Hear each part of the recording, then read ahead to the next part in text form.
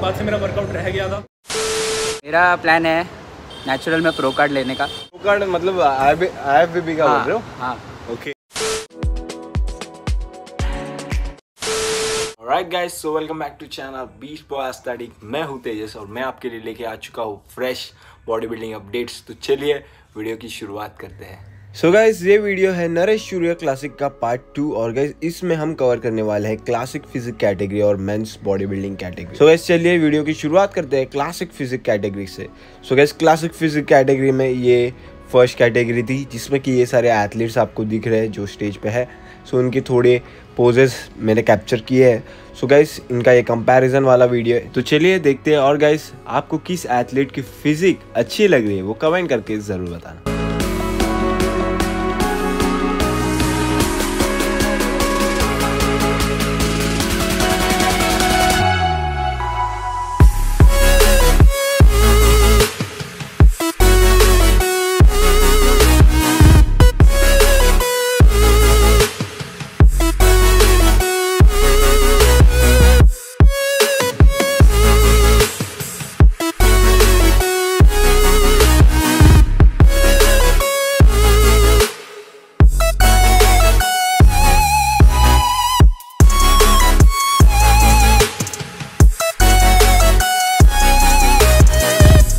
सो so guys इस category के winner रहे हैं trunk number 290 so guys congratulation कहेंगे हम उन्हें। और गाइज़ काफ़ी अच्छी एक चीज़ हमें देखने को मिली कि निपुण भैया, विक्की मलिक भैया और असीम भैया जो कि तीनों यूट्यूब चैनल्स चलाते हैं और बॉडी बिल्डिंग अपडेट्स देते हैं। सो वो तीनों को हमें स्टेज पे देखने को मिला एक साथ में। और और गाइज़ ये काफ़ी अच्छी चीज़ है कि बॉडी बिल्डिंग अपडेट्स चैनल की वजह से बॉडी बिल्डिंग इंडस्ट्री और भी ज़्यादा ग्रो हो रही है। सो ऑल द बेस्ट कहेंगे हम विक्की मलिक भाई असीम भाई और निपुण सर को।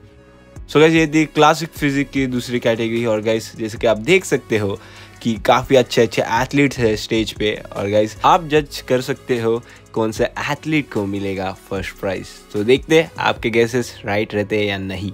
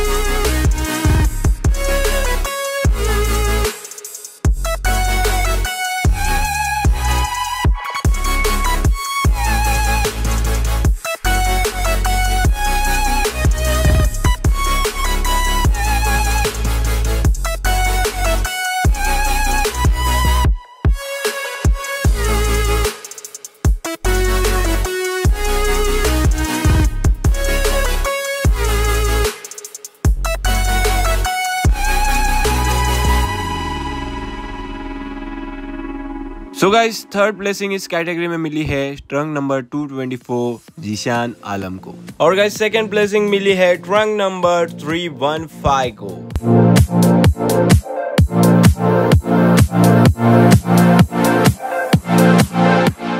सो गाइस इस कैटेगरी के विनर रहे हैं ट्रंक नंबर 284 जो कि गाइस 46 ईयर ओल्ड थे। और गाइस आप देख ही सकते हो उनकी ओवरऑल कंडीशनिंग कितनी ज़्यादा इंप्रेसिव लग रही है। और गाइस ऐसी फिजिक स्टेज पे डिस्प्ले करना, वो भी 46 की एज में काफ़ी ज़्यादा हार्ड है और डिफ़िकल्ट है। So hats off to him और गाइस कॉन्ग्रेचुलेशन कहेंगे हम ट्रंक नंबर 284 को।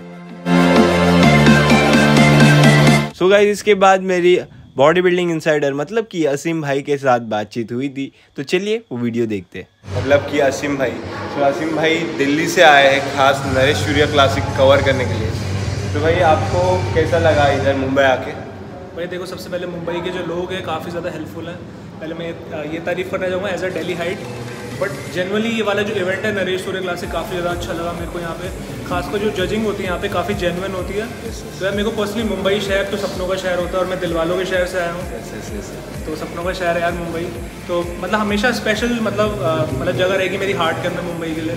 तो मैं इतना कहना चाहूँगा मुंबई के बारे में। और आपको मतलब आज जो देखा हमने कि स्टेज पे आप और विक्की भाई दोनों साथ में थे और आप इंडस्ट्री को ग्रो करा रहे हो इतने बॉडी बिल्डिंग चैनल मतलब न्यूज़ चैनल ओपन करके। सारे अपडेट्स मिल जाते हैं सब लोगों को।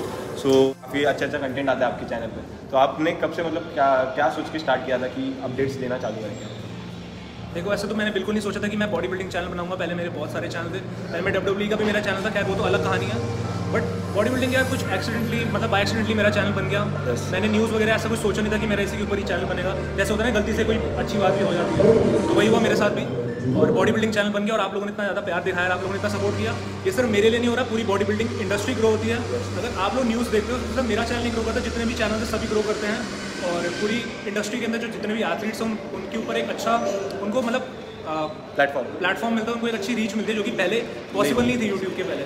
तो एक it's a step in the right direction और बस अच्छी बात है यार। बस अच्छा ही रहे अच्छा माहौल बन के रहे बस यही। और आपका कुछ गोल था मतलब बॉडी बिल्डिंग करना आप कभी किए हो? मतलब वर्कआउट कब से चालू किया या फिर आपको इंटरेस्ट कब से आया? देखो यार मैंने स्टार्ट टू मैं 2015 के अंदर किया था देन 2017 के अंदर मेरे को इंजरी हो गई थी देन उसके बाद से मेरा वर्कआउट रह गया था। ओके आपको क्या कैसी मेरे को एक्चुअली शोल्डर पे इंजरी हो गई थी शोल्डर एंड ट्राइसेप्स की इंजरी हो गई थी उसके बाद से मैंने ट्रेनिंग करना छोड़ दिया था। देन उसके बाद से ऑन ऑफ़ ऑन ऑफ़ फिर मेरा कभी रेगुलर नहीं हो पाया, क्योंकि फिटनेस के अंदर आपको कंसिस्टेंट रहना होता है रिजल्ट्स के लिए। तो फिर उसके बाद बट मेरा बॉडी बिल्डिंग से स्टार्टिंग में इंटरेस्ट था, जो मिस्टर ओलंपिया होता था, जितने हमारे पहले जस्ट साहिल मतलब ये सारे.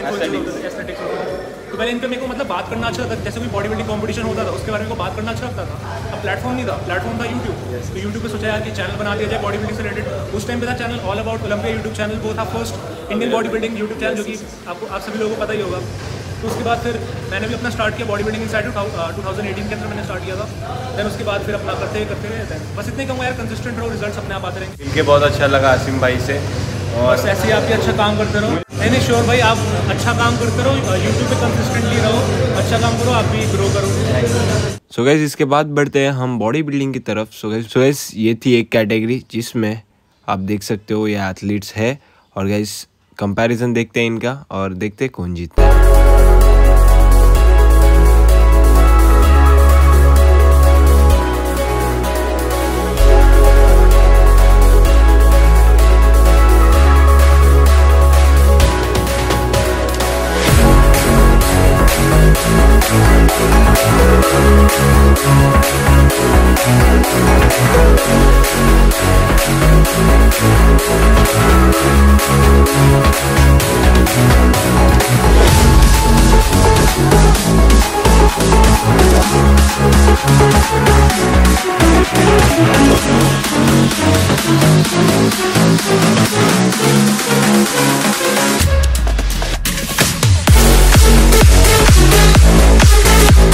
इस कैटेगरी में विनर रहे हैं trunk number 222 so guys congratulation कहेंगे हम उन्हें।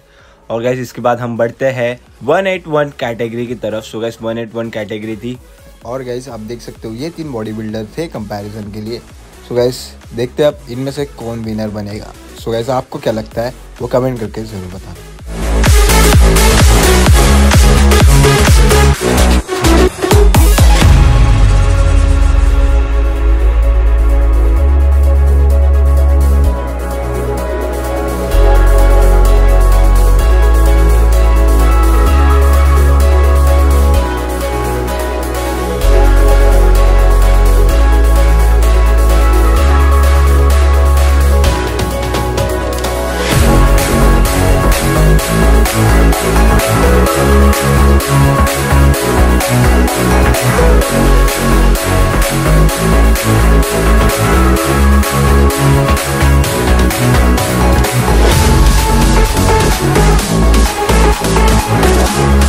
तो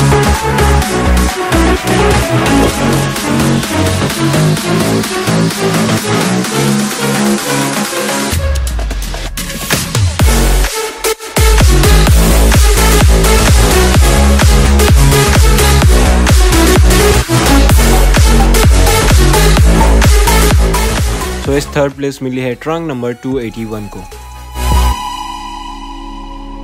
second place number 290।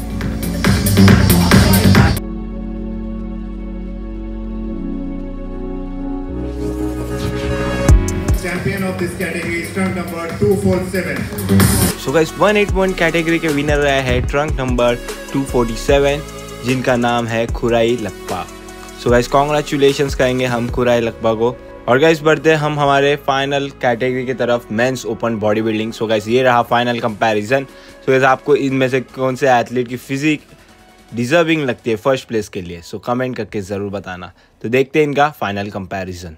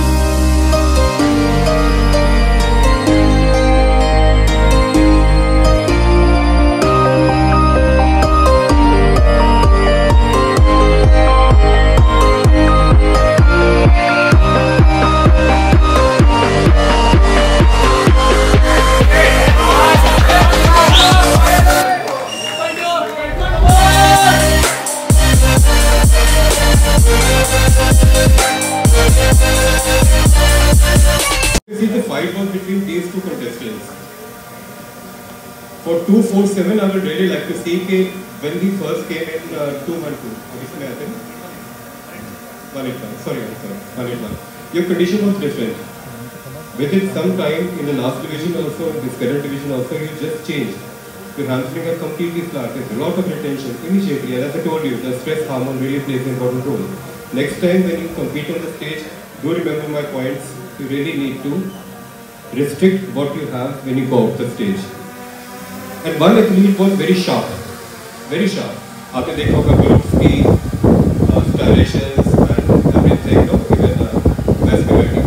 एंड एक चीज़ देखिए this is the body building division हमें बोन के ऊपर कितना ज़्यादा मसल मास चढ़ा हुआ है कितनी हिपाट्रोपी हो रखी है हमें उन चीज़ों को कंसीडर करना because this is not a physique division I am not out again uh, looking for those aesthetics or those separations or those vascularities yes those parts also should be considered but overall अगर हम देखें तो a contestant has a huge muscle mass development no doubt he tried to ruin it in some time but still for me the champion of this round is do you remember my points जो मैंने आपको guideline दी है as a elder brother ठीक है the next competition ठीक है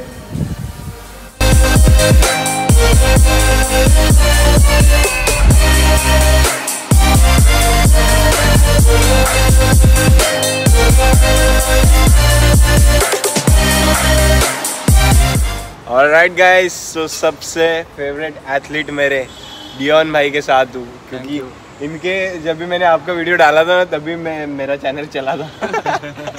तो आज कोई बात नहीं और भी चलेगा आप यार बहुत मेहनत करते हो बस ऐसे थैंक यू आपकी दुआ रही तो ऐसे बढ़ते रहेंगे। और गाइस वो आज आए थे मेरे सूर्य क्लासिक देखने के लिए।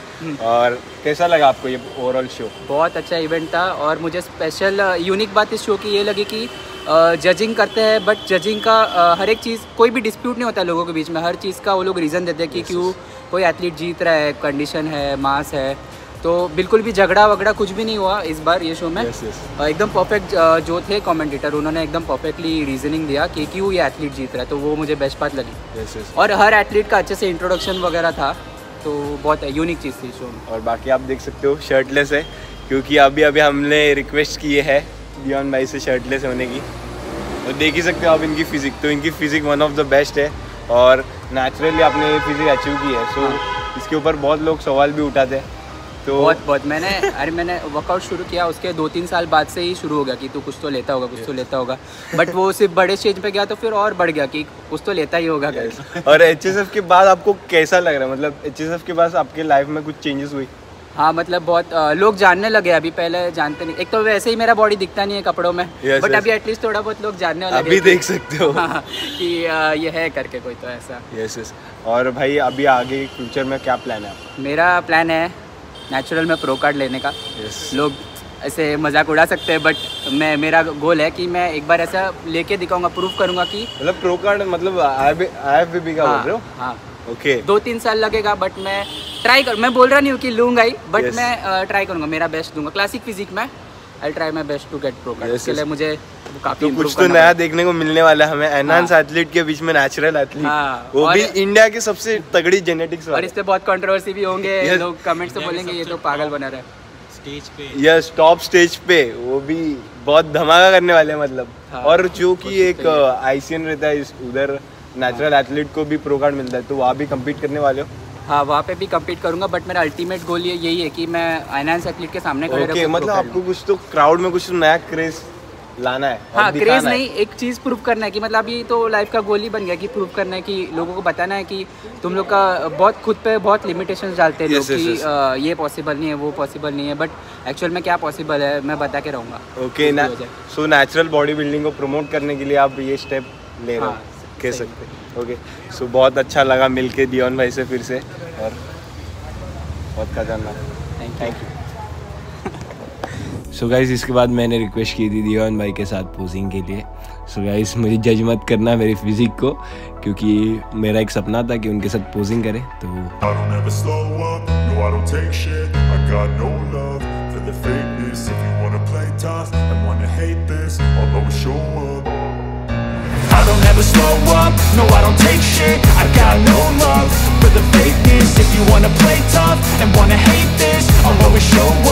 Make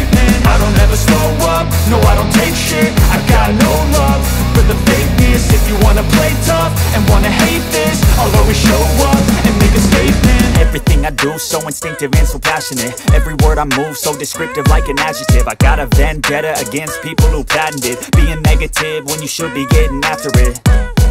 I got facts over facts over tracks, this and that. Spitting slow, spitting fast, I could roast, I could gas Think I'm okay at last, but I don't know if that can erase all the past. And the pettiness, a reflection of the emptiness. Hilarious, you think you're worth my time, you're delirious. Mysterious, because you hide behind a fake exterior. Inferior, you know I'll always be a bit Get off of me, this ain't no humble brag. I want you to hear words, you can say them back. I want you to feel free from the chains at last And to believe in what you got, it was built to last, yeah.